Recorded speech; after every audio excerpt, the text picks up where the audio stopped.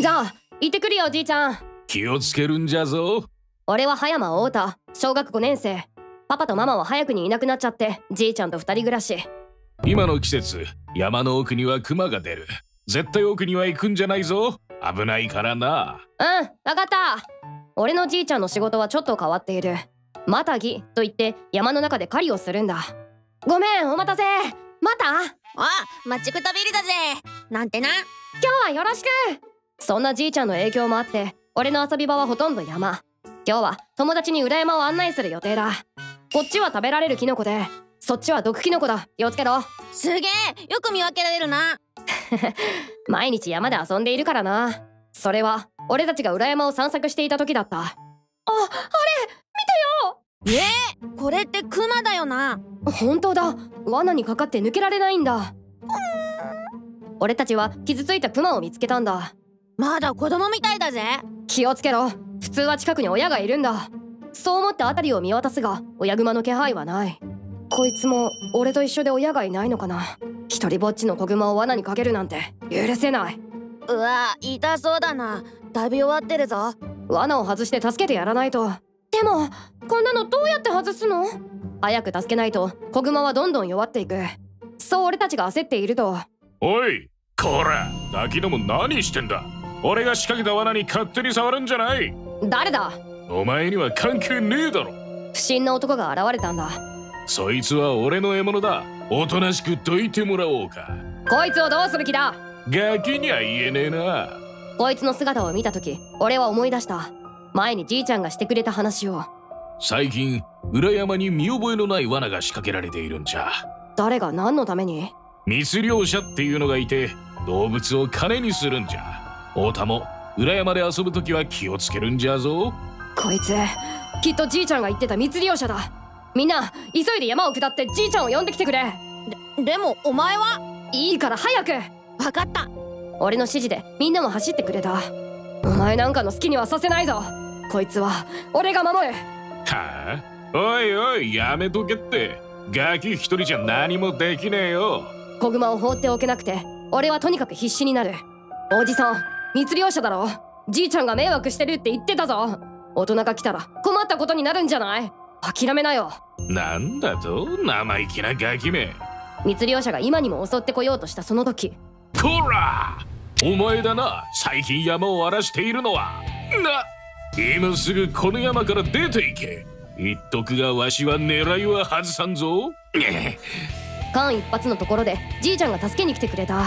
ちすごいそしてじいちゃんに気をされた密漁者はあっけなく立ち去ったんだ。じいちゃんありがとう。いいんじゃ。それよりも太田大した勇気だ。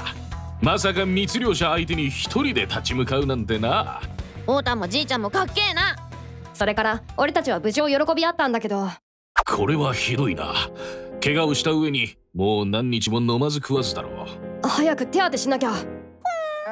かわいそうなことに子熊は危険な状態だったんだよしわしが罠を外そう。ごめんな。痛いよな。すぐ終わるからな。俺は罠が外された子熊をじいちゃんが持ってきた救急道具で手当てをした。怪我が治るまで家で世話しちゃダメかな。このまま放っておくなんてできないよ。うーん弱った子熊を置いていくなんて考えられない。だから俺はじいちゃんに頼み込んだんだけど。熊と人間では生きる世界が違う本来野生動物というのは自分の力で生きていかなきゃいけない。人間が手を出しすぎてはいけないのだ。そっか。やっぱり難しいみたい。と思いきや。子熊が自然へ帰ろうとするときは逆らうな。惜しくても見送るんじゃ。守れるか？守れるなら。怪我が治るまで家で面倒を見てやれ。え本当？ありがとうじいちゃん。絶対に約束するよ。条件付きだけど俺は子熊と暮らせることになったんだお前チョコって食えるのか？それから俺と子熊の生活が始まったはいいものの風呂って入るのかな？クマなんて飼ったことないからわからないことだらけ。だけど数日後やっとできた。今日からここがお前の家だ。わからないなりに俺は子熊に何かしてやりたくて庭に専用の小屋を建てた。ん？どうした？お礼にくれるのか？お前優しいんだな。ありがとう。子グマはとっても喜んでくれたみたい。さらに数週間後すっかり良くなったな。子グマの怪我はすっかり良くなって見つけた時より一回りも大きくなっていた。ん？お前お腹に稲妻模様があるんだな。よし今日からお前はサンダーだ。そしてサンダーは俺にとって最高の友達になっていたんだ。こんなん習ったっけ？ぜ全然わかんねえ。翌日いつも通り宿題をしていると。ああ心配させてごめんな。いいなサンダーには宿題がなくて。サンダーは難しい顔をしている俺を心配してくれていた。宿題は後にしよう。サンダーいつもの。俺はそんなサンダーと気分転換することに。あサンダービワが鳴っているよ。最高の友達になった俺たちはもうどこに行くにも一緒だったうまいな。ごちそうだ。こんな楽しい毎日がずっと続けばいい。だけどその願いが叶うことはなかった。えなんだあのクマ。ある日それはいつもの散策中のことだった。ちょっと目を離した隙にサンダーのそばには一頭の大熊がいたんだ。きっとサンダーを襲おうとしているんだ。こら！サンダーから離れろ！サンダーのピンチだと思った俺は後先考えずに思わず飛び出すところが。えその大熊はまるでサンダーを守るかのように立ちはだかったんだ。サンダーを守ろうとしてる。もしかしてサンダーの親なのか？そしてその時俺の頭にはじいちゃんの言葉がよぎる。子熊が自然へ帰ろうとする時は逆らうな。惜しくても見送るんじゃ。ありがとうじいちゃん。絶対に約束するよ。サンダー俺たちこれでお別れなのか？そう俺はついに迎えてしまった。俺とサンダーのお別れの瞬間。でもやっぱり嫌だ。俺はもっとサンダーと一緒に。えこれ俺にくれるのか？サンダー。うん。サンダーは寂しそうにうなずいた。まだまだ子熊のこいつがクマの世界に帰るって覚悟を決めたんだ。俺が覚悟を決めないでどうする？分かったよサンダー。今までありがとう。さよなら。元気でなそして俺も覚悟を決めてまたいつかいつかきっと会うな！サンダーと親熊の姿が山の奥へ消えるまで2匹を見送ったのだった。15年後。はいはい。打ち合わせは来週の月曜日で。俺は社会人になっていてもう山暮らしはしていない。それでもサンダーとの再会を期待する俺は自然と山登りが趣味になっていた。だけど飲み会での趣味トークからサンダーの話までしたのは失敗だったな。子供の頃に子熊と仲良くなってさまた会えたらなって。なんだそりゃ。あったってクマなんかがお前のこと分かるわけねえじゃん。食われんのがオチだろ。そそうだよな。小学生の時に会ったクマを探しているなんて同僚たちから見れば痛いやつなわけで。あいつ変なんですよ。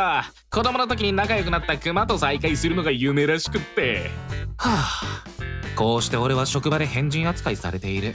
だからいつも一人ぼっちだ。そんなある日なんと俺は社員旅行の登山であの裏山近くの山にやってきたんだ。もしかしたら今度こそサンダーに会えるかも。愛しなクナちゃんに会えるといいね。今の俺は同様の嫌味も気にならない。しかし登山を始めて数時間後。なんだ？今の音。山に異変が起こったんだ。これは噴火だ。噴火？おいおいどうすりゃいいんだよ。空が真っ黒だぞ。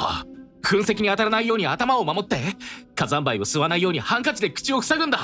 噴煙が上がっているのはベア火口か。それならこの先に山小屋がある。そこに避難するんだ。え分かった。俺は素早く状況を確認し山小屋への避難を指示。ところが。いやで大丈夫か太田？逃げ始めて間もなく噴石によって俺の足が折れてしまったんだ。俺のことはいいから早く山小屋へ行くんだ。ここでみんなを巻き込むわけにはいかない。分かった。必ず助けを呼ぶからな。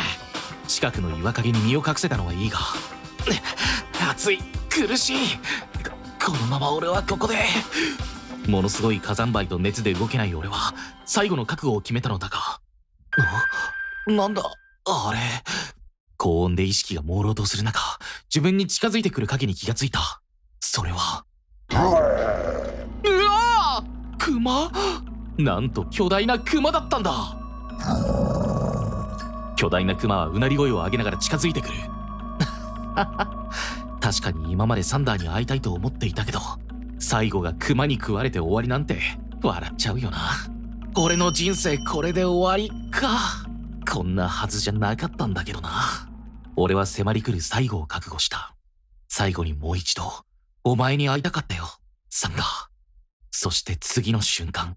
ううわ冷たい。なんだ？なんとクマは俺の顔を舐め始めたんだ。